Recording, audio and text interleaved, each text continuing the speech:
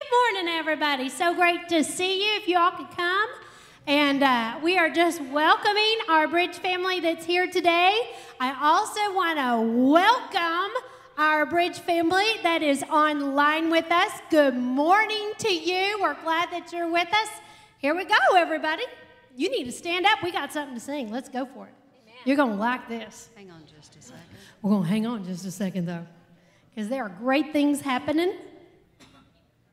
Is there still great things happening? Okay. It's a surprise. I am even surprised. Isn't that great? Okay. Thank you, Lord. Here we go. Here we everybody with me now. God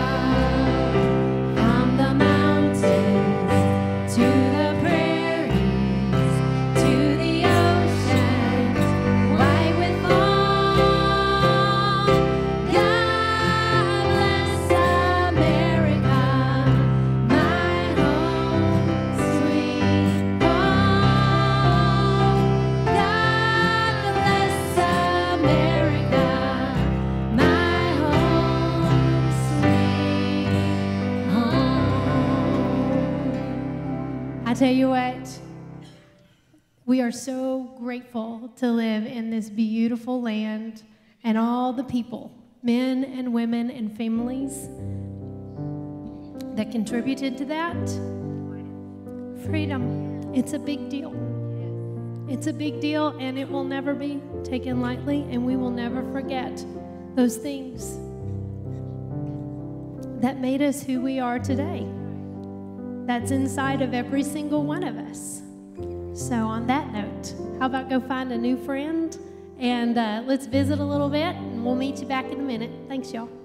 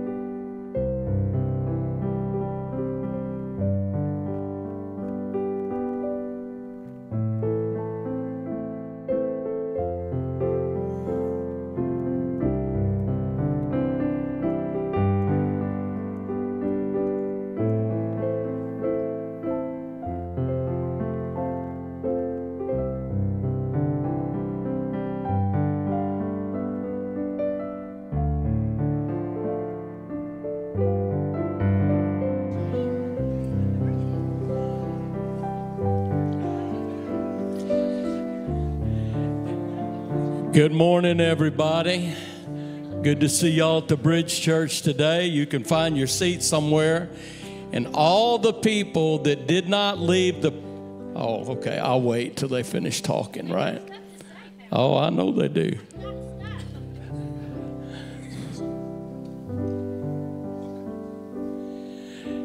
The, uh, you may be seated this morning. I was going to poke at y'all a little bit, a little fun. How many of you understand that a real joke has to have some truth in it, right? And uh, the truth is, some of you didn't leave your seat, and uh, you need to do better at going meeting new people in your church, okay? I say that in love, but that's the real truth, all right?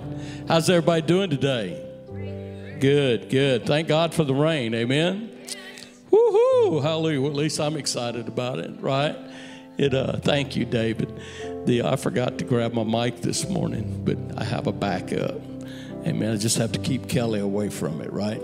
And uh, Amen. The uh, so good to see everybody. If you are a guest today at the bridge, uh, I'd like to say welcome to the Bridge Church. We're glad you're here. Uh, in the seat back in front of you, we have a tithing envelope, and inside there you can put a little information so we can know a little bit about you. We're not going to bombard you or come to your house or anything like that without invitation. If you're a good cook, talk to my wife, right? No, she's a great cook. I didn't mean it that way, right? And uh, so, it. Uh, oh, I have lunch taken care of already. The uh, you do that before Sunday. So, if you're a guest today, please let us know you're here and you're attending service with us in this great and wonderful atmosphere. Amen. Right, Kelly. Thank you, Pastor. Um, first of all, I want to say thank you Kelvin for having that amazing word last week, guys. We want to thank him for what he did. Y'all, that takes number one. A lot of people are afraid to talk to people on a microphone, but he did a great job, and we're so proud of you. I just wanted to mention if you happen to be uh, celebrating the fourth with your family, which is awesome, um, but we have these uh, bottles back over here on this table, and let me tell you how it works. They're kind of like a piggy bank, but they're a bottle bank. Yes, I came up with that myself. Um, well, not totally, but what I just said. Anyway, so what I wanted you to know is that what you do is you keep it like wherever you keep your spare change at your house, we have several places for spare change by the dryer, but anyway. Um, and what you do is, as you get your spare change, you just fill this puppy up. And then, whenever it comes time, because we're going to do this for a while, then you bring your bottle that is full of your spare change. And if you want, I have a great idea that you're going to love tell your grandchildren and your children, hey, I think there's money in the couch. Go see if you can find it. They do it for you. It is the greatest thing. So that is your tip of the day for the bottle bank.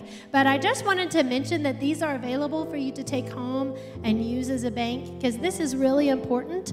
And uh, if you missed last Sunday, you might want to go back and listen to that because Kelvin went in detail to tell you all about that. That was great. So, awesome on that. Also, we have something really neat. It goes right along with our outside the walls. Um, it's a clothing drive. Everyone say clothing drive. I know we haven't done this before, but it's a great idea. So here's what I want you to do uh, I want you to go through the closets. Now is the time. Don't say later because later never comes speaking to me now.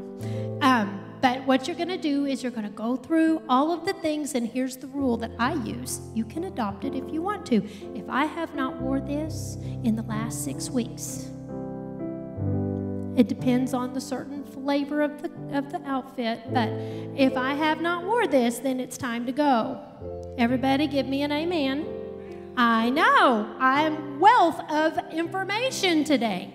So what you're going to do is you're just going to put it in. A, you can put it in a garbage bag, a box, whatever you want. Just keep it and put it next to the door. So next Sunday, everybody say next Sunday. When you come to church, bring your clothes that you haven't worn in the last six weeks and bring the one, make sure they don't have holes and things like that, but just bring your clothes to the church and we're going to go through them. And then on another day, we are going to provide, it'll be the 22nd, we are going to provide an opportunity for families that need clothes and just in time for school. That's a good idea. Okay, so if they need clothes, they can come and they can just pick out their clothes. Isn't that great? That's a great idea. So thanks, you guys. That's part of everybody being a part of Outside the Wall. And I love that.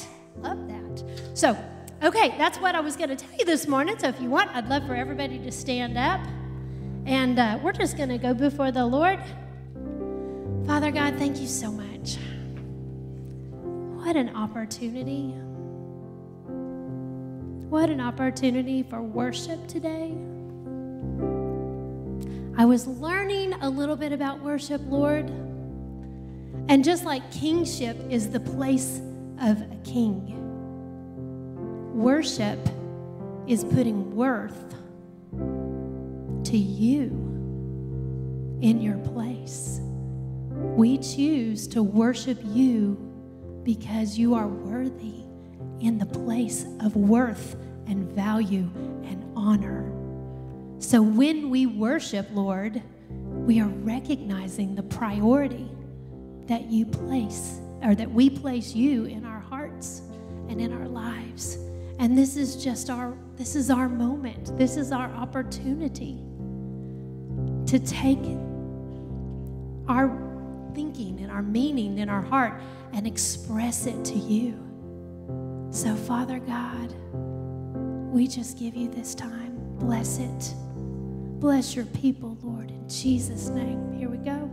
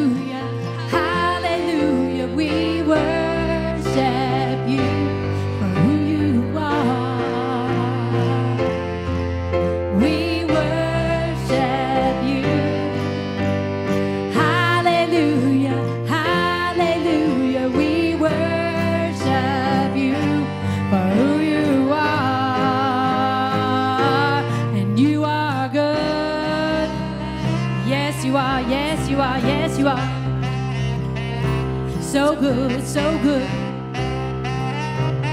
Yes, you are, yes, you are, yes, you are. Woo!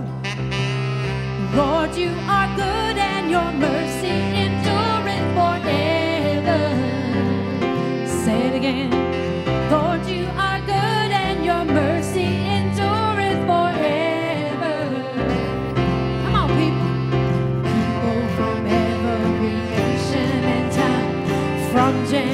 generation to generation.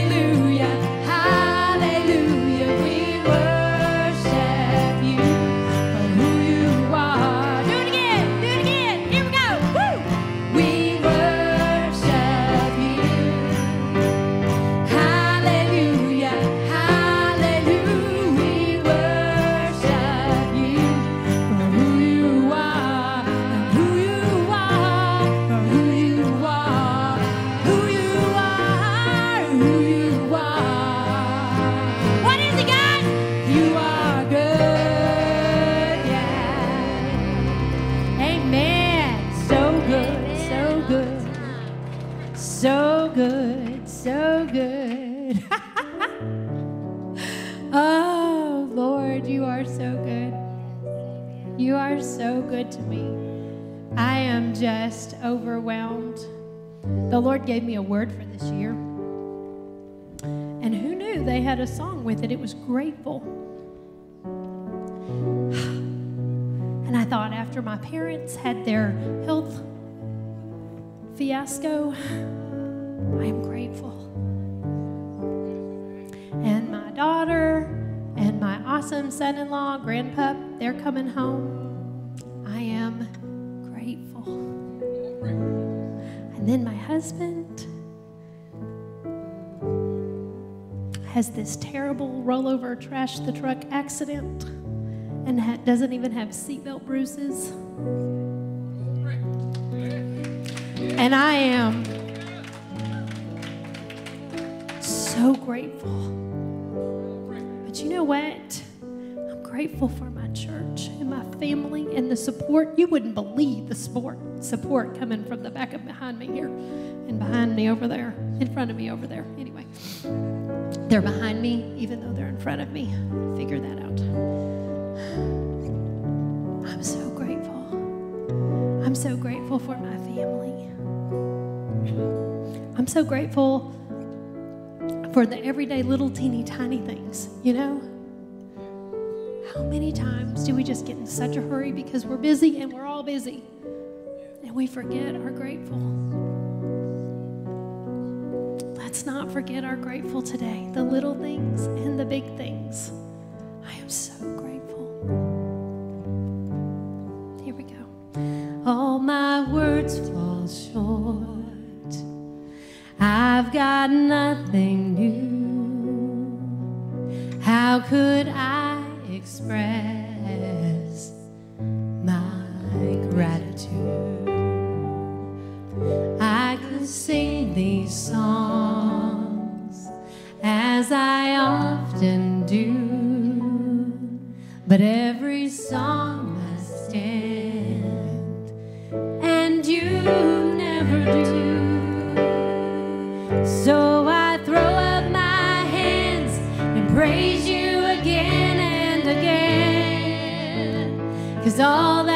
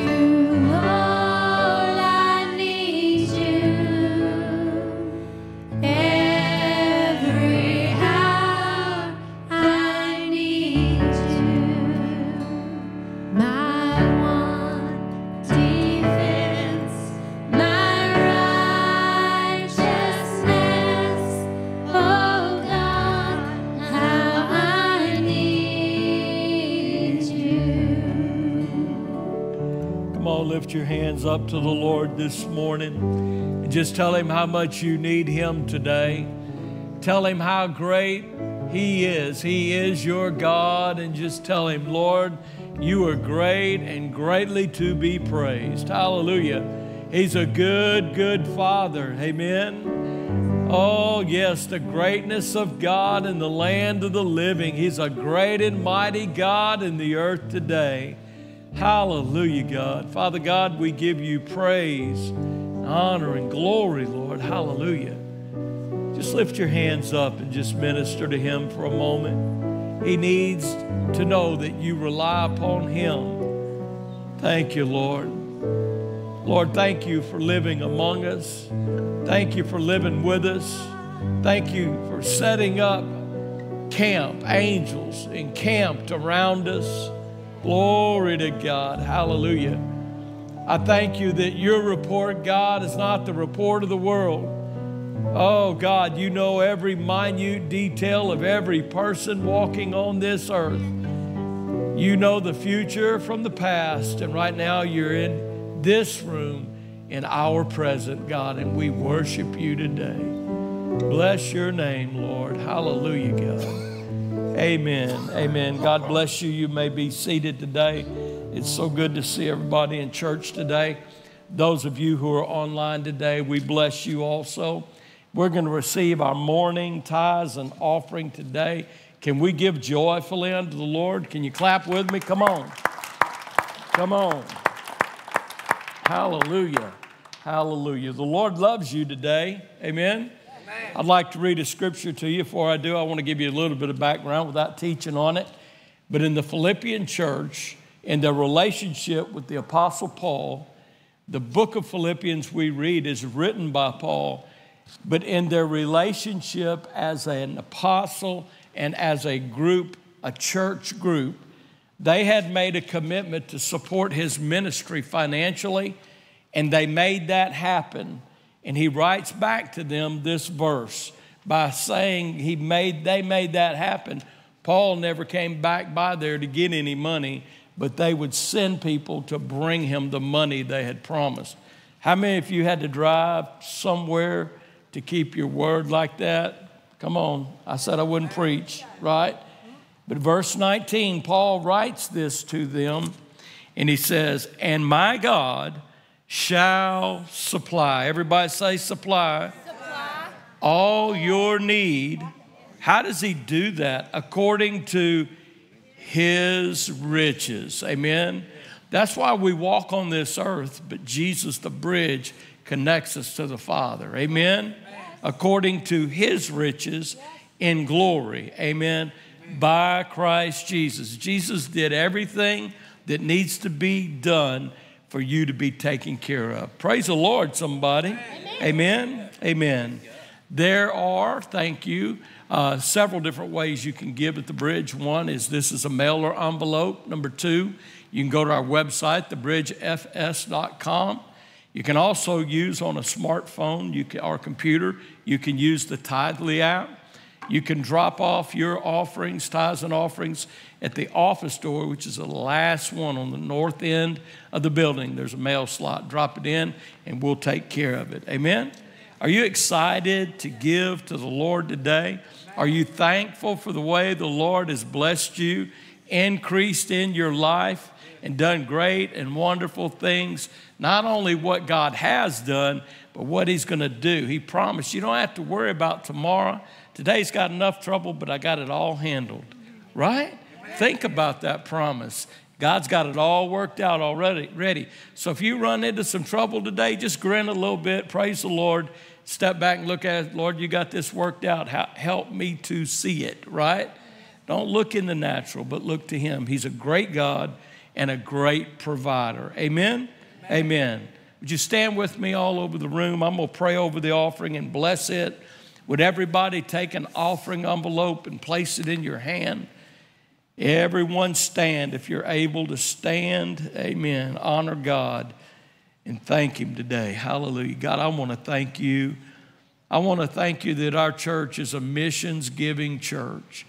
I want to thank you that people today, as simple as it is, they heard, oh, they're going to be giving clothes and stuff to people in need outside the walls. And Lord, we rally together as a church to fulfill every commitment and seize every opportunity that comes across our path to do great things in your kingdom. And Lord, you've been so kind to the Bridge Church, Lord. You've supplied all her needs. Lord, you've already got it worked out. We bless this offering, both the gift and the giver, and everybody said, in Jesus' name. Amen. God bless you as you give today. Is. Okay, here we go. I was just entertaining myself. Are you ready to declare? All right, everybody, hold it up. Let's mean it. Say it like we mean it. Here we go. Faith declaration of kingdom finances. As we obey and give the Lord's tithes and offerings, we believe the Lord for jobs and better jobs, raises, bonuses, and benefits, sales and commissions, settlements, estates, and inheritances, interest and incomes, rebates and returns, gifts, debts demolished, and royalties received Heavenly Father, we thank you that every chair here is filled with a person. We seek to be a debt free church and a debt free people, and we declare this by faith in Jesus' name. And we all said, Amen. Amen. So be that. That's awesome. All right, so guys, this is awesome today because number one, this is the day the Lord has made. Number two, we want to thank Miss Vonnie and Miss Carla for doing a great job last week in Kids Church. Nothing was said because, quite frankly, I forgot to say something and didn't know, but wow, they were awesome. And this week, we're super happy that Dr. Tom and Susan are back. And so, if you are one of my favorite people on the planet and you are one of those people who are going to Bridge Church right now, Bridge kids, did I say that? I said that wrong. I totally said that wrong. Get used to it. Bridge youth also. We got to get another slide. So, if you are now a teenager type person and you go to Bridge Youth, it's the youth. I'm trying to say that like I'm from the north, but it doesn't work because I am not. All right, Pastor, I'm going to just turn it over to you now. Well, thank you, You're Kelly. welcome. I appreciate that. I'll be quiet. Amen. Let's clap for these kids. Amen. Lord, bless the next generation. How many of you understand unless we teach and train the next generation, they will not know the things of God? Amen.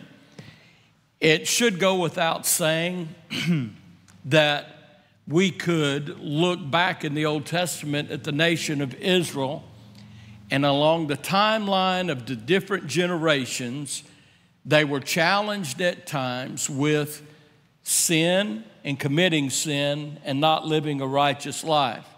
Even to the point that I believe it's not God's will, but God allows according to what we do, right? I don't believe God wants any of us to be in slavery. I don't believe that. That's not the way of the, of the character of God.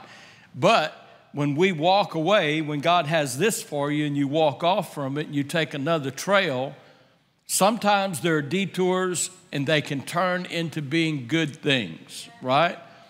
I left uh, New Orleans Friday morning coming back home, and uh, there's this little town, and it's on a U.S. highway, and I was on Interstate 10 and the Holy Spirit, I just saying, which way should I go? I mean, there are lots of ways I know how to go, and you know, and I just felt like I need to go this through this town called Krotz Springs, and it's kind of like a detour because you're on a U.S. highway instead of on the interstate, and I forgot about it. Well, after I crossed the Atchafalaya Basin uh, and came down off of it, boom, there was a car accident up ahead, and traffic was backed up for miles. So I got to see the swamp a little bit at a time. And the, the, the average was probably two miles an hour, but thank God for those bursts of five miles an hour, right? Felt like you were going to go somewhere. Three lanes of traffic reduced down to one lane, and everybody was waiting on everybody. Amen? I wonder why, and I asked God, because we talk pretty often and pretty close. Does that make sense? And, and I said, Lord, why did I forget, you know? And I always have this attitude about traveling. It's a good principle to have. If the Lord tells you a certain way, try, go that way. But if you forget it, His grace, He understands you forget, right? And, uh, but I look at accidents where if that happens, I'm there for a purpose, right? I've helped people before, right? And I've also it changed the, the itinerary before. And it's also changed the timeline where when we come into a situation, God may be using that to protect us. There may be someone else in that group that He has protected, and I get to be along the ride with them. Back to the nation of Israel, when we go to the New Testament, we see time, I mean, the Old Testament, we see time and time again the nature of humans personified in the history of the nation of Israel, where they would follow God and do great things, and then sometimes as a nation, they did not follow God as well as they should. God told Israel that He did not want her to have a king, but because of their relentless requests, God allowed them to have a king.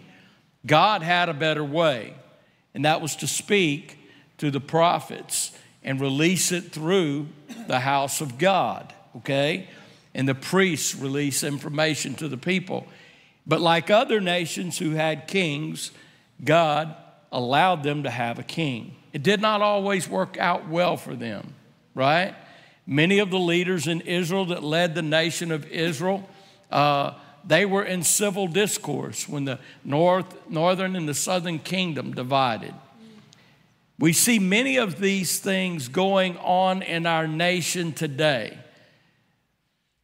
I will testify that I believe with all of my heart the greatest place to live in the world is in the United States of America. Yes. I've been a few places, I've not been all over the world, but I believe that.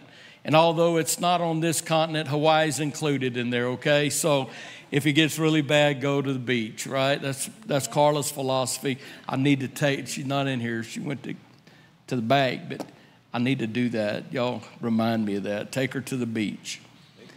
And as I look at our nation today, I've titled this message, Let's Make America Great Again. Now, obviously, the last four words of that, some of you aren't going to be happy when I say this, were an old slogan adopted by former President Trump when he ran for president to lead the United States. Many people had never heard that slogan, and this generation, it meant nothing to them other than what he made it be. My Bible teaches me that whoever gets elected, whether it's good, bad, or evil, it's not my responsibility. I still have to bring my life before God, and I still have to honor authority. And my job is to pray and preach the Word of God.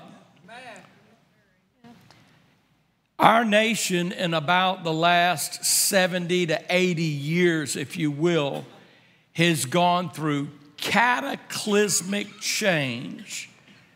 It is one thing has caused another, that's what cataclysmic means. One thing has caused another thing to change. I believe there's some factors for this, especially in the last 30 years or so, and that is the fact uh, personal computers were invented Computers went from being, depending on the need, they had rooms larger than this that held computers to operate them. And now, my first computer would not match anywhere close to my personal cell phone that's in my hand. This is probably 50 to 100 times better and faster, other than the size of the screen, right? And I just have to deal with that. Amen? We have seen changes happen in our nation, uh, with our states, and with our nation across the board. And it's just like when we seem that we're going to settle and get on a track to go forward again, something else comes to bring challenge to us that does not keep us on the God track. Can I just go ahead and say this and you can heal the rest of the service if this applies to you? Are you ready to receive? I say this because I love you as a pastor, but a great part of why America is where she is today is the church is selling goods that don't need to be sold to the godly people in the church or to bring souls into the kingdom of God. We have churches that are country clubs, they're social places, and I'm glad fellowship is a great need. We have another movie night at the end of the month. Come on. I'd, I'd threaten to cook for you, but I don't know if I can, right? It, uh, where we could just eat together and watch a movie together, right? We had a lot of fun at the last one. It's a great movie, too. And uh, yeah, I was thinking about that, but I'm not going to promise what I may not can commit. That's what I was thinking. It, uh, so, I have a lot of information, and I'm just going to probably say I'm not going to finish everything today, but next Sunday is communion, and I'm trying to be disciplined to somewhat shorten the message and lead into communion. Next Sunday, we're going to receive communion and concentrate on Second Chronicles 7:14. If my people. And we're going to ask the Lord to cleanse our nation. We're going to receive communion and do that. Let's make America great again. I want to say to you, because I'm going to shift here in a moment, that if the church will really sell out to the Lord and we preach an uncompromised Bible, amen? We get the mixture out of the church, it would present something to people. There are people that are looking for Christ. God made us that way. Come on, somebody. That's in your nature as a human being to fill that God sized hole in your life. And God is ready. But if we would come back and serve the Lord with everything we've got, God could turn our nation around. Amen. But if the church does not rise up in this hour, God help us is the cry of this pastor.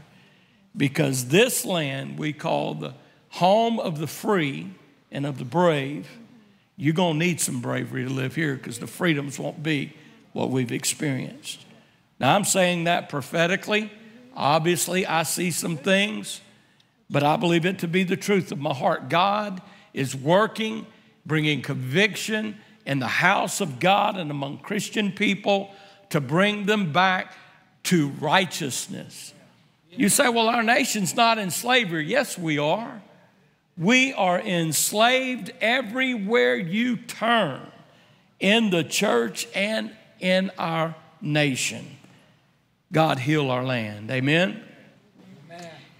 I would like to read one verse to open today. I may refer to some others, and we'll see how far we can get with the Lord's help. Amen? Psalm, the 33rd Psalm, verse 12. Blessed is the nation, blessed is the nation whose God is the Lord. I'm going to read that part again. Blessed is the nation whose God is the Lord. Amen? Amen? And if this nation can find God again, it won't be answered by slickness in the church, by politics. Whoever sits on the throne of this nation that's leading it won't be done in the president's office. No. Amen. I'd love to see a pre- president that that cooperates with God's agenda in the earth. Amen. Yes. Right? But no man can do everything that needs to be done in our nation. We need a move of God. Money's not going to fix our nation. People scream about the economy, but I see them eating out. I see them at the gas pump and looks to me like, including me, we've gained a few pounds. So it's not the economy that's destroying us.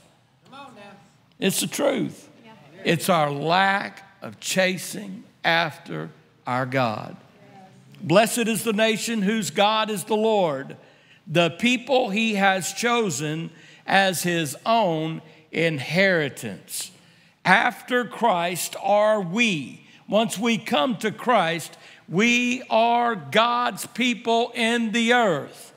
He is my daddy God. Amen. And He has great big hands. And it amazes that when you come up on something, God always, when you're after Him, He's always got it worked out for you. Let's get started. Got that out of my heart. Amen. This is a very different message that I preach. or share. We have a lot of history today that we're going to be involved in, going back to the founding fathers and how our nation began. Um, so, a lot of it I have to read because the, I don't deal with this information every day, but a, I just can't spurt it out of my head, okay? At this moment, I can't. The Lord blesses me. I'll be ready to do that anytime.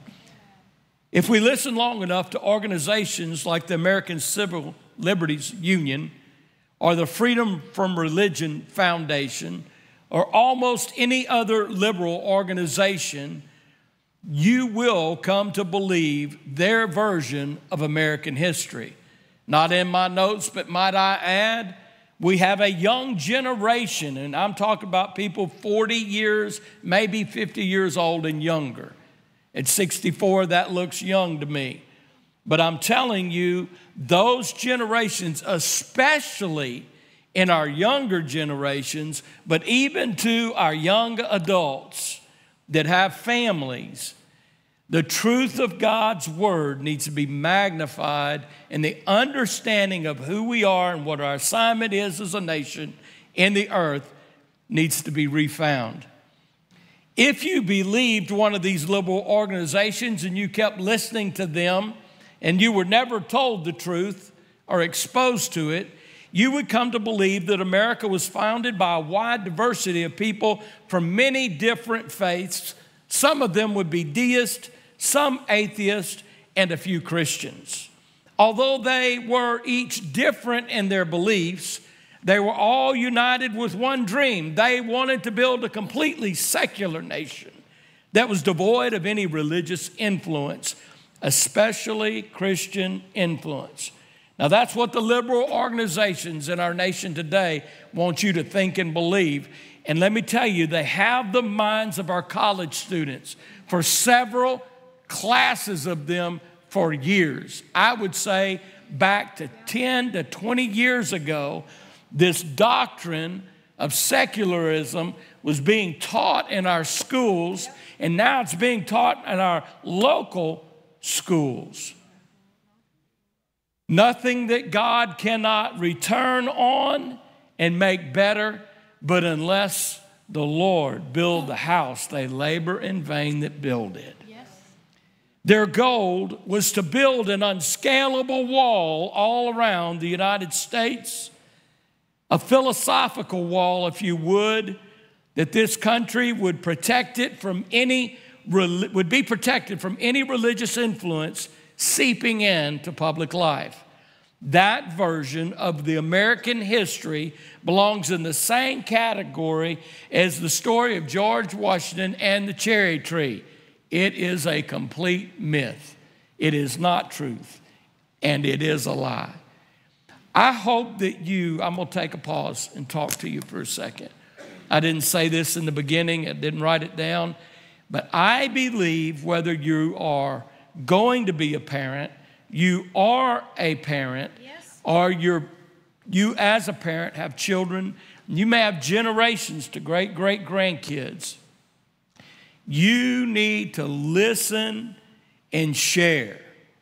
You need to say something and speak into their world to make sure that the Bible that they are getting from wherever they are being taught the Word of God is God's Word in its fullness and not just enough to give them some type of Christianity that rescues them in eternal life and they don't burn in hell, or it rescues them that I'm gonna give God like a tip from my life and show up and do my thing on Sunday morning, and then I go back into the world and live in the world like the world in that culture. Yes.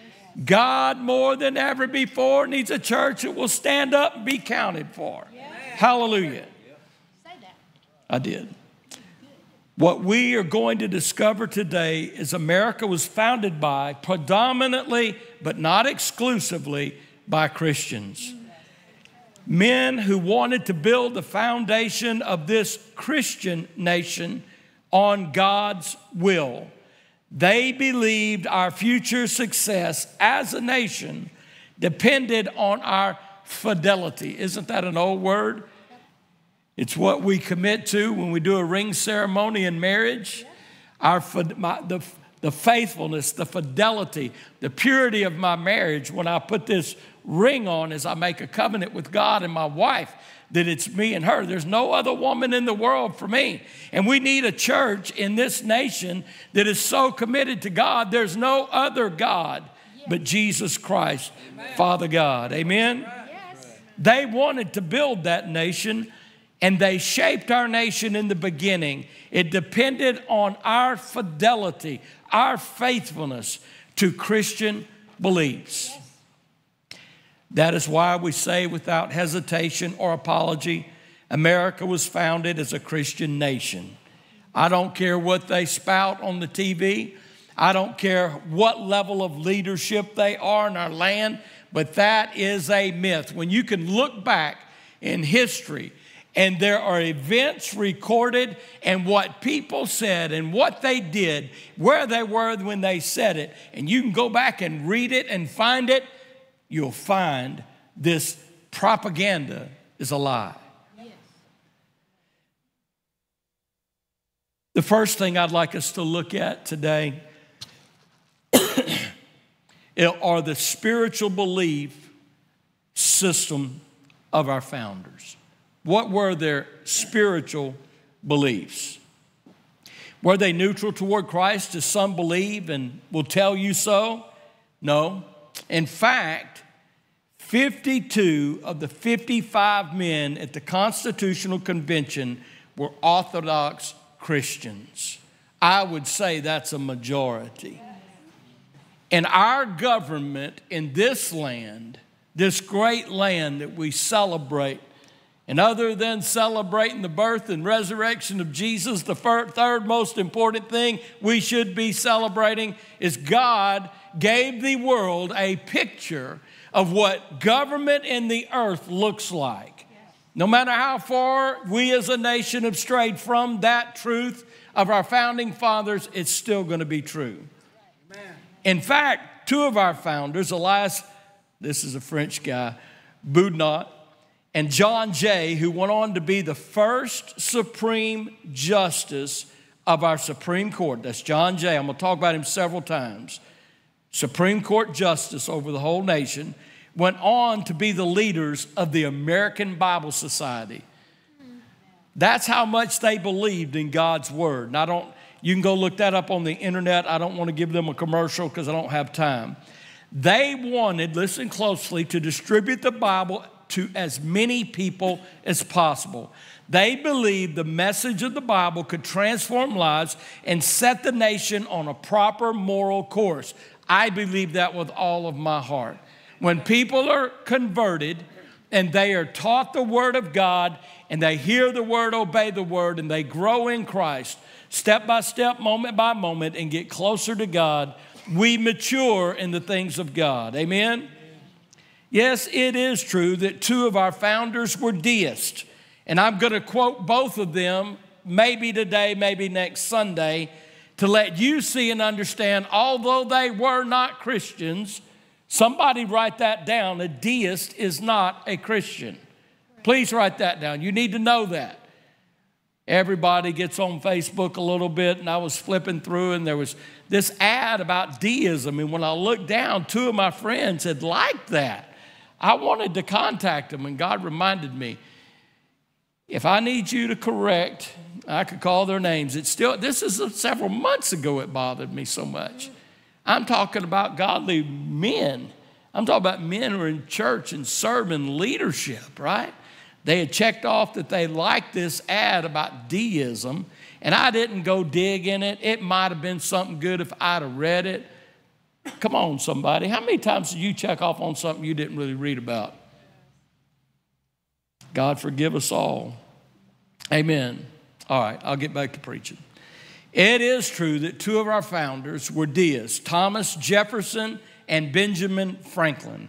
And yet, even these deists could not ignore the spiritual foundation of this country. It is interesting that both of these men worked together to form a national seal for this newly formed nation called the United, what we call today the United States of America. Are you aware of what the seal looked like? Anybody? I wasn't until I studied about it.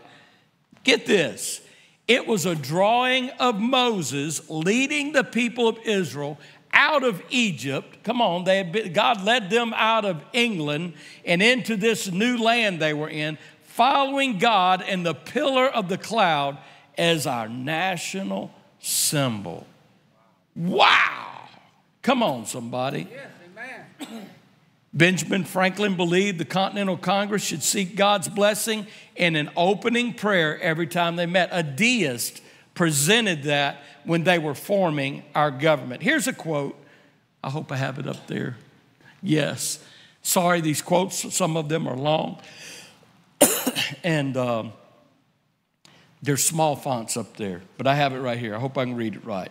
This is from Benjamin Franklin, the deist who also believed in the gospel, okay? He said, I have lived a long time, sir, and the longer I live, the more convincing proofs I see of this truth that God governs in the affairs of men. And if a sparrow cannot fall to the ground without his notice, that's in Matthew and Luke, right? Is it probable that an empire can rise without his aid? If God has to feed the sparrow, don't you think he needs to feed us? That's my words. We have been assured, sir, in the sacred writings, unless the Lord build the house, they labor in vain who build it. Unless the Lord build, rebuild, and build and rebuild the United States, we are just fooling ourselves in our building process. If I could say one thing to our church, is we've got to fast and pray and seek the Lord about who we vote for. It doesn't matter if you're a Republican, a Democrat, an independent, a libertarian. If you're a Christian, you need to know God, know His will of what we need so that we can turn our nation back on the course God has for it. Some years ago, there were two professors from the University of Houston, Charles, Houston, Charles Linneman and Donald Lutz. They did a study to find out who our founding fathers quoted the most. They believed that they could find out who they quoted the most, we could better understand the founders' documents. I believe that to be true. They studied for over 10 years, researching some 15,000 documents and here are their conclusions. Are you ready? The three sources the fathers quoted the most are a British philosopher, John Locke, a French philosopher, Baron Montesquieu, and an English judge, Sir William Blackstone. That was the, those three people they quoted the most. However, thank God for howevers, our founding fathers cited the Bible four times more than Montesquieu and Blackstone, four times more, and 12 times more they, than they quoted John Locke. In fact, more than one third of all the founding fathers' quotes came directly from the Bible. Praise the Lord, somebody. Go ahead. Hallelujah. The other one third is 33, right, percent. The other 60% of quotes, of their quotes, were from authors who based their books and their writings on the, on, on, the, on writings from the Bible.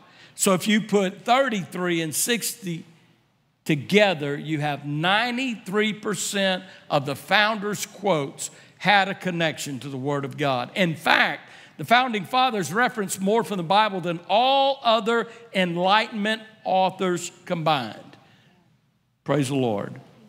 It is this historical fact caused by Kent Woodward of Newsweek magazine. This is a modern article. He studied this study and he wrote an article titled How the Bible Made America and he used this study done in the University of Houston. In this article, and I quote, he says, now historians are discovering that the Bible, even perhaps more than the Constitution, is our founding document. Somebody say amen. Amen. amen? I would have to believe that to be true once someone studies it out and gets the answers. The second thing that I'd like to talk about this morning is the words of our founding fathers. Not only do we see them in history, but they actually say things that makes an impact in our world today. We all know that George Washington is the first president of the United States of what we call the USA today. In his inaugural address as president, this is what he said. I hope I have it up there. Yay, you can follow along. It would be peculiarly improper to omit in this first official act my fervent supplications to that almighty being.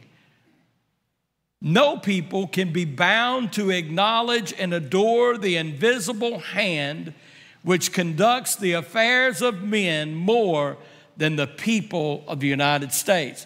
Who was he talking about? He was talking about Father God.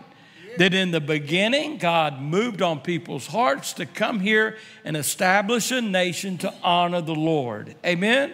What a great quote. First president, inaugural address, he gives all the glory to God. And I like the part where he talked about fervent supplications. They were not only a people of the Bible, but they were a people of prayer. And before this message is over, they were also a people who went to church. Many of our founders, matter of fact, all of them attended church, depending on where they lived and what they did as the nation grew. This is from John Adams, our second president, the general principles on which the fathers achieved independence were the general principles of Christianity. Whoa. Did you hear that? Yeah. Not anything else, Christianity. And he says, I will avow that, as I then believed, and now believe that those general principles of Christianity are as eternal and immutable as the existence and attributes of God Immutability talk is a characteristic of God. He changes not. So therefore, we have built this nation on the immutable God that we serve, and the principles come from His Word. Our foundation is secure. It was built right. We just need a remodel job on the house. And that those principles of liberty, freedom are as offerable as human nature. The very fact that humanity is born and breathes in this nation, it is a breath that is controlled by the freedom that God has given us. He goes on to say, Our Constitution was made only for a moral and religious people. Do I need to stop there? Our, just as John Adams, our Constitution was made only for a moral and religious people.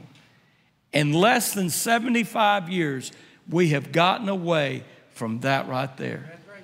Now, there's always, there's always sin and immorality in every culture and generation since Adam and Eve.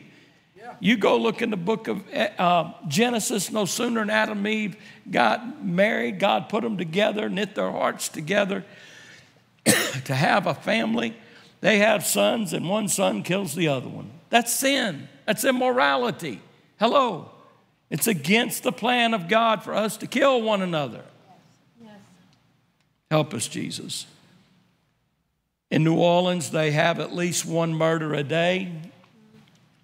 It was the news was a topic every day. Who, who, who got murdered, right? Seriously. Baton Rouge, since much of New Orleans moved there in 05, 2005, after Katrina, is an average of three murders a day in Baton Rouge. Wow. Wow. Our Constitution was made only for a moral and religious people. It is wholly inadequate to the government of any other. What was founded in our nation will not help lead people who are immoral and against God. Only God can fix that. Amen. When our nation, excuse me, when our nation turns to secularism and away from God, we have no document that can keep order in our country. Our forefathers designed this country and wrote the Constitution with the assumption that people would be guided by belief in and obedience to God. That's in the that's my words applying to the quotes that I'm reading you. Here's another one from the son of John Adams. His name is John Jay. He's the first. I talked about him earlier. Uh, first Supreme Court Justice and co author to the Federalist Papers. This is what he says Providence, this is how they refer to God. Providence has given our people the choice of their rulers. Are you catching on to this? When Israel had a king, how did they get their rulers? The strongest one, whether they were godly or evil. Whoever had the best army and could fight the best overtook the other ones, and you became a slave to a new culture. We see that in our history books. It's taught in our schools. I hope it is. Maybe we need to go back to school as adults and listen in, right? I'm going to read this again. I want you to grab hold of it. Providence has given our people the choice of their rulers. And that's not the end of the quote. This is what he says about our responsibility. It is the duty as well as the privilege of our Christian nation to elect and prefer Christians as their rulers. We in America have made a joke out of the voting system that was created on a foundation of God's Word that gives justice for everyone in our nation, gives protection, gives leadership, but it hinges on one thing. There are people that say, man, our politics is so bad, I don't, Christian people and others, I don't even think I can vote in this next election. Are you here this morning? We've made a joke of the system that we're supposed to seek the face of God, get a word from God, and obey it in the voting booth. God help us. God help us. We have a duty to prefer and elect Christian leaders in our country at all levels. I know there are some Christians being elected today. I, none of us are a judge of any other Christian, right? And it is difficult to find out what people truly believe when they say that they're even a pastor anymore or they go to church anymore. That means something different to everybody, not what it meant to our founders when we started this nation. They went to church, they sought God. Amen. Let me finish up. John Jay, he just said that. Let's go to John Quincy Adams son of John Adams and the sixth president of the United States. Hang on. he said this Why is it that next to the birthday of the Savior of the world, your most joyous and venerated festival returns this day, July 4th? It is not that in the chain of human events that the birthday of the nation is undecidedly linked to the birthday of the Savior. Is it not that the Declaration of Independence first organized the social compact on the foundation of the Redeemer's mission upon the earth? It's based on the gospel. They, they, these people put, gave up in England everything they had. Many of them left their families there in hopes of one day reunited. And they went by the leadership of the Holy Spirit to go and find a place, to go and find a place to build a nation that's based on God's mission in the earth. He continues that it laid the cornerstone of human government upon the first precepts of Christianity the resurrection, ascension, the spirit outpouring, the building of the church. He says this the highest, the transcendent glory of the American Revolution was this that it connected in one indissoluble bond. Can't wash it away, can't tear it apart. The principles of civil government and the precepts of Christianity. They are welded together in our foundation. If it has never been considered in that light, it is because its compass has not been perceived. Folks, we as Christians today have a great heritage being born in this great nation. Amen? Amen. But as citizens and as Christians, we have a great responsibility to know the truth and to get our nation back on track. Any train that runs off track causes destruction. Somebody's going to get hurt somewhere, right? right? Something bad is going to happen, even if it's the chemicals, like up in uh, Pennsylvania when the train crashed earlier this year, I believe it was. Yeah, it was. It was last, last spring. Dakota, my son, was traveling back from New York State. He'd been there for an interview and he wanted to go through Pennsylvania, and he was in the area where that crash happened.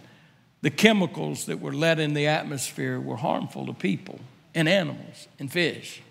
I don't care what the paper says. Come on, somebody. Yeah. It's like they think we don't have good common sense, right? All right, it's 11:15. You think we can? Let me look. Ooh, Jesus. All right, we're going to try it, okay? I'll try to finish by 11:30. Is that okay? If someone were listening to me this morning, it is very likely and they would most likely be a younger person with this thought in their mind. They would want to ask me the question or stand up and wave at me and ask me, Pastor, what about the separation of church and state? It's in our Constitution. No, it's not. Don't steal my thunder. Amen. the separation of church and state is nowhere in our government documents. Nowhere. It does not exist. It does exist in a letter written by a president. We'll talk about that. My simple answer to anyone that says, well, you know, we've got separation of church and state but there's no such thing as that. And most of you would likely reply, Why would you say such a thing, Pastor? It's in our Constitution. No, it's not, not anywhere. So, I have a question for you. I think it's a question. If it says so, it probably is a question, right? If the phrase separation of church and state is not in the Constitution, where did it come from? Truth will make you free. Actually, you have to look outside of any government document to find the first time it is written. And let's look at the writing of President Thomas Jefferson. The first time that phrase was used was in a letter between President Thomas Jefferson and a group of Baptists from Danbury, Connecticut. In 1801, remember that date. I'm not going to give you a test, and it's hard for me to remember dates, but there are a couple things that are going to play into this time, and we need to understand, okay? In 1801, it would have been nine years after the ratification of the First Amendment. Does anybody know what the First Amendment, is? Well, it's the freedom of religion, actually. Okay? In 1801, most states still had, listen closely, state sponsored churches. These were godly people that originally built our nation. It was very, I'm sure there were some sinners in the group or some that, none of them were perfect Christians. Let's be real. They were people. But when they went and they built a town, they would build, they would build one church so the community could come together to worship together. You with me? Does that make sense? Now, later on, and I read this, but I don't think it's in my notes. I may pick it up next week. Later on, you hear reports like in larger populated areas, instead of having one church, they've got multiple churches and multiple denominations of people that are worshiping. But listen to what it said state sponsored. That meant when the people paid taxes to operate the government, one of the things that they did with that money is go back and help establish towns, colonies, and people. And that included the beginning of church, a church there and the operational cost. Actually, there were people selected by the government that would go to these churches to pastor. It was very common, all right? Getting way ahead of myself, but I may not pick it up next week. Okay.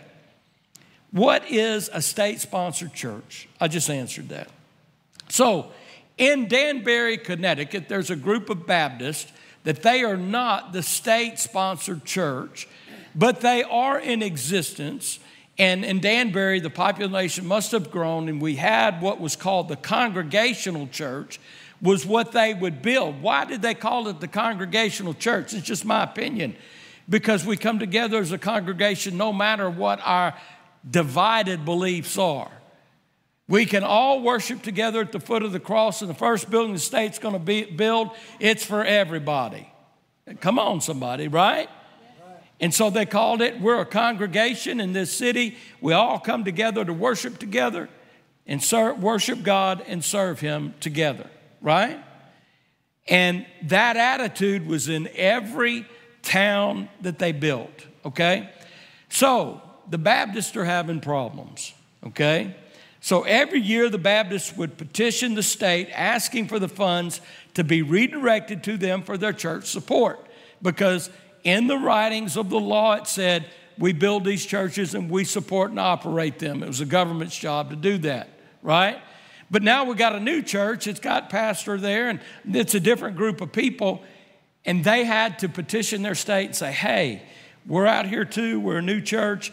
Can you send us our money to operate and make sure we're taken care of? And they would do that every year, okay? It was being done. So every year, the, the, the Baptists did this. Uh, but it was a hassle to do this.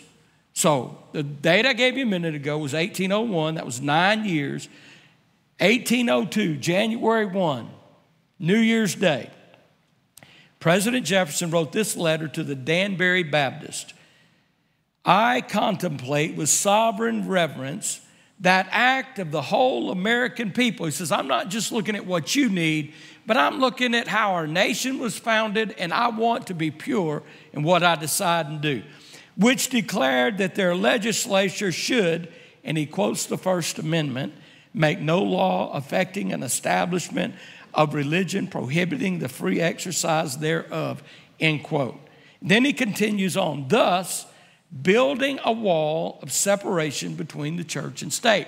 That is the first time that it was ever written, ever said, and it was done so by the President of the United States in telling them, Your needs are being met, you're getting the money you need. Therefore, we're not going to go back and change a law that is on our books that is serving you well. We believe the government is here to take care of the people, and that includes church. So we're going to make sure you got a church to go to. Come on, somebody. Woo! Get me started. Amen. All right. President Jefferson is quoting the Constitution, the First Amendment. the context of the letter is that one denomination will not be preferred over another. Uh, he is reminding the Danbury Baptists where they came from, England, the nation they left to find a place to have freedom of religion. These people were searching for a place to build a nation that would never keep anyone from worshiping they wanted the way they wanted to worship. That you already had that freedom to worship any way you wanted to. All right, I'm gonna move quick. Put your put your put your seatbelt on. All right. How do we know this? By the writings and the words of the founders. Because one year later, okay, this was 1802 that that quote was made, but one year after uh, he wrote that letter, okay, one year, he signed a bill to support a minister to go to the Kas- Kaskaskia Indians, Indians to start a missions outreach. The government was doing missions. That's why they came to America. It's to spread the gospel. And the government paid for this missions outreach that was being built. On January 3, this is two days after January 1, President Jefferson wrote the letter to the Danbury Baptist. He had that two days later, two days after he wrote that letter, he attended a worship service in the Capitol building. In Washington, D.C., that was the first place they had church, and they had church in our nation's capital for decades and decades and decades. It was a big enough building that they could all meet there together. And uh, if you visit the Capitol, there is a, a, I haven't been there, people told me this. You can go there and there's a document where he, the president, attended on this date. And it's, he signed, because when you came to church, you signed in to let the pastor know you were there. Woo, imagine that. The founders always believed in religious freedom. The First Amendment in the, is in the Constitution to protect religious freedom. The founders never believed the First Amendment was to stop prayer in school. Somebody in this room today. Or prevent a nativity scene to be put up in a, in, on Main Street in a community or out in front of a church. Or make a courthouse remove the Ten Commandments off the wall. That was never the intent of the founding fathers. The early court rulings show us that the government was not only established by Christian principles, but also it shows how Christianity served their everyday life. This is a case, this is a court case, law. It's the case of Runkel versus Winemiller in 1799, okay? Right? This is before the 1801 1802, right? I'm just putting it in time for you. Okay, seven years after the First Amendment was ratified into law, okay? In 1799, the Supreme Court of Maryland decided our form of government supports the Christian religion as the established religion. Seven years, seven years after that law, this man quotes it in court. The First Amendment was about protecting religious expression, not about being oppressive to churches or Christians. Amen. Here's a case for you. And we'll, I believe this is the last one. Let me get another sip here.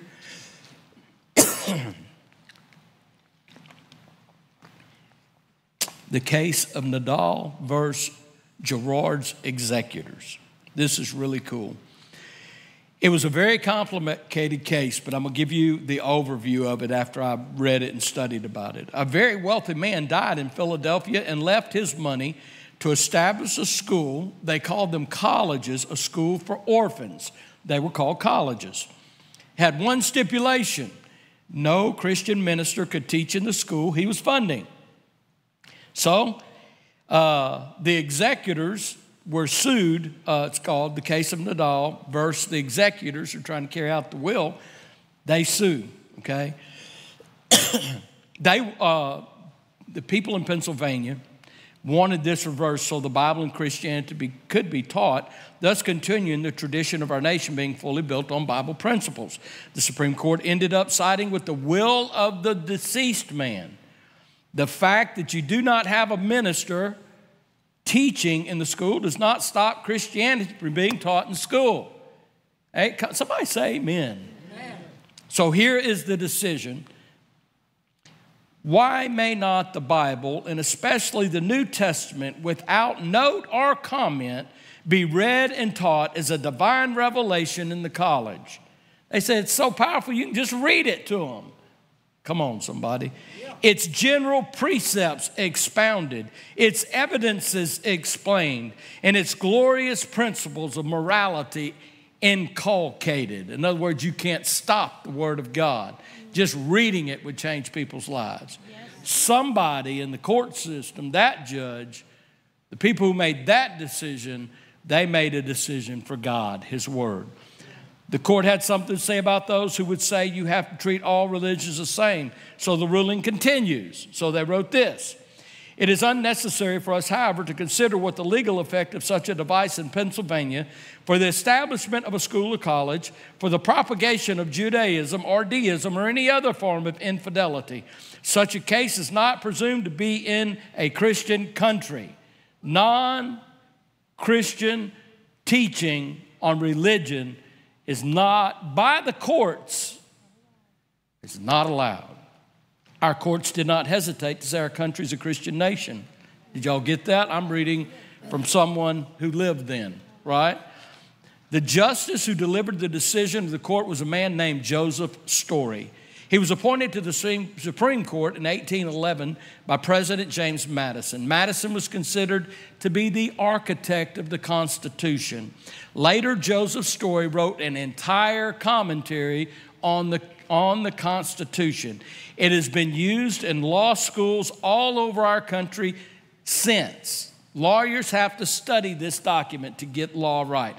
In his notes, this is what Joseph Story said the purpose of the founders in the First Amendment was to put all Christian denominations on the same level to keep one Christian denomination from being elevated above the other. But our founders never meant for Christianity to be subservient to other religions of the world. Glory to God. Amen. I'm going to close with this, and it is 1129. I'd like to read Matthew chapter 5, verse 13 through 16 to you, maybe just 13. I didn't change that part. This is what Matthew wrote in his gospel in the Beatitudes. You are the salt of the earth, but if the salt loses its flavor, how shall it be seasoned? It is then good for nothing to be thrown out and trampled underfoot by men. As a nation, we've let our salt get wet. It no longer flavors and seasons. But God has the ability to help us to be salt. It goes on to talk about light, but we're going to save that next week. We're going to talk about salt today. The church is supposed to be salt and light. Christians are supposed to be salt and light. When this nation started, it was based on people who went to church, they believed the Word of God, and they believed they were here to build a Christian nation that would serve the kingdom of God to all of eternity. If you take Christianity out of a society, that society will destroy itself and evil will engulf the world. What does salt do? It purifies, salt preserves, salt decontaminates, salt also stings and irritates. But yet we have a church today that our salt is worthless. We are the salt of the earth, the Word of God says to, and we need to be more salty than we've ever been before. And we don't have to put make salt where it ruins a meal. How many of you know you put too much, it's not any good? It's a fine balance of just the right amount depending on the situation. If you're going to eat taters or rice, you need a little more salt for that gravy, right? Come on. What does salt do? We are the salt of the earth. And when the salt is taken out, the moral rot will destroy a nation. And may I kindly say to you that that's what's going on in this great country. Our immorality is destroying us. And we're whistling right along, skipping down a trail, going with it, acting like we are oblivious to what's happening around us, where our rights as Christians are being trampled upon and we let it go. We started with a verse. Blessed is the nation whose God is the Lord, the people he has chosen as his own inheritance. Would you bow your heads with me, please? Father God, thank you for the truth. I pray, Lord, that we would note this message, and when we need to use it, we can send a link to people that would they could go and find this message on YouTube just by clicking on a, a link. They can listen to the truth that I've shared today. For the naysayer, I would say, I'm being very sensitive to the Holy Spirit. For the one that would listen to this and say, I thought he needed to preach the gospel. I've preached more Bible than what you probably heard today anyway, but that's okay. We need to know the truth of the history of who we are. My daddy would say to me, I said this to Dakota when he was coming up. He'd get out of line a little bit. I'd look at him and say, What's your name? He'd say, Dakota. I said, What's your last name? Smith. I said, What does that make you? I'm one of the Smith boys. So, what does that mean? It means my behavior has a reflection on you, Dad. Father, our behavior has a reflection on you. And we repent for having a dirty mirror instead of letting the light of the gospel shine in and through us. We've dimmed our light. Our salt is not salty. Lord, we repent. We ask you to cleanse us and forgive us and give us the wisdom we need how to carry the salt of your word with us everywhere you go. Everywhere we step, that as we come across people, we can salt the conversation. Gently, lovingly, kindly, just like Jesus wisely did. Thank you, Lord.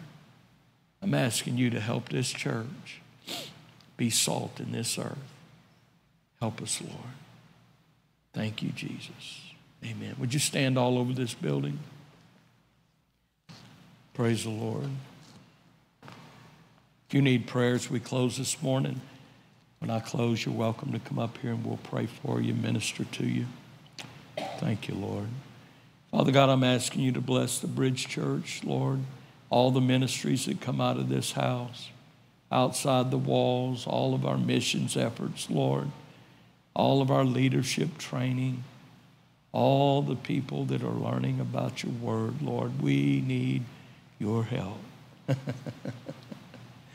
Ooh, you're a mighty God, and we bless you, Lord. Bless your people today. Lord, use the truth from this word today. Use the truth to motivate us to help the generations behind us, to help them see, know, hear, and obey and do. Thank you, God. We bless you, Lord.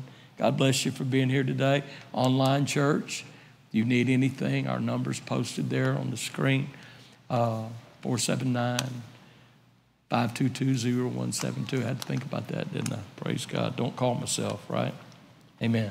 God bless you today. If you need prayer, we're going to dismiss, but if you need prayer, come on up here and we'll, uh, we'll minister to you, okay?